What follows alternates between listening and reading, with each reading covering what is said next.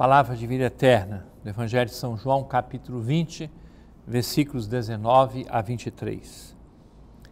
Ao anoitecer daquele dia, o primeiro da semana, estando fechadas, por medo dos judeus, as portas do lugar onde os discípulos se encontravam, Jesus entrou e, pondo-se no meio deles, disse: A paz esteja convosco.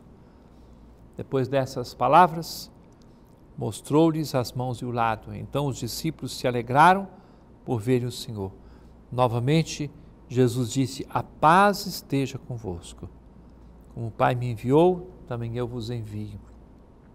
E depois de ter dito isso, soprou sobre eles e disse: Recebei o Espírito Santo.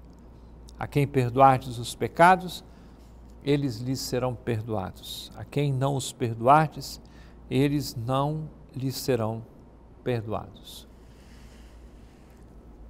Caríssimo irmão, caríssima irmã, hoje é o grande dia de Pentecostes, 50 dias depois da Páscoa, os apóstolos, junto com Nossa Senhora Mãe de Jesus e outras pessoas, se encontravam reunidos no cenáculo, lugar em que permaneciam em oração depois da ascensão do Senhor, preparando-se para a vinda do Espírito Santo.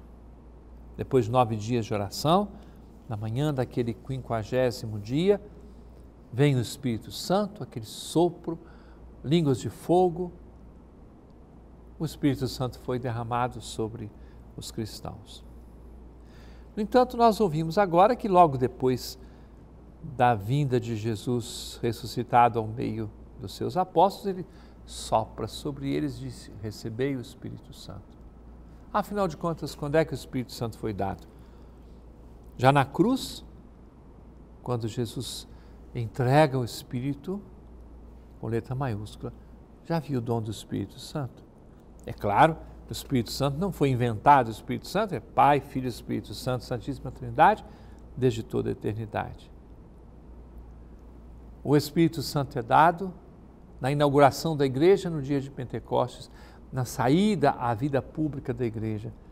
O Espírito Santo vem a ser acolhido a partir da cruz de Cristo, da aparição do ressuscitado é todo um conjunto que mostra que o Cristo que morreu e ressuscitou deu de presente o Espírito Santo e nos dá a força de caminhar até que ele venha, até o final dos tempos, justamente conduzidos por este que é a alma da igreja, o Espírito Santo.